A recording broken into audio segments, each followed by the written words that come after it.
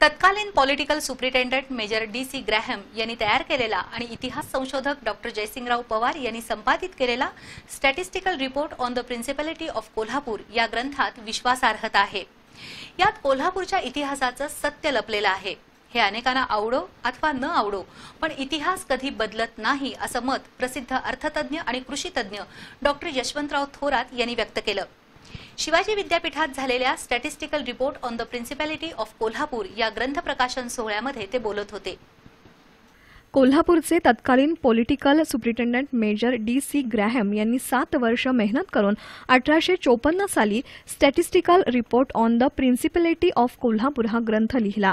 या ग्रंथात दोनशे वर्षापूर्वीच्या कोल्हापूरचं लोकजीवन उद्योगधंदे कृषी जीवन कला साहित्य संगीत पार्शियन भाषेतील शिलालेख भाषा आणि कोल्हापूरचे छत्रपती यांचा इंग्रजांशी होणारा पत्रव्यवहार याची सखोल माहिती आहे.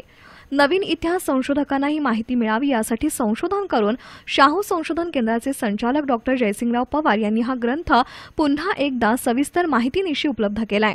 आज या ग्रंथाचा प्रकाशन समारंभ शिवाजी विद्यापीठात पार पडला. नाबार्डचे माजी अध्यक्ष डॉक्टर यशवंतराव थोरात श्रीमंत शाहू महाराज डॉक्टर जयसिंगराव पवार यांची उपस्थिती होती. मान्यवरांच्या हस्ते या ग्रंथाचं प्रकाशन करण्यात आलं.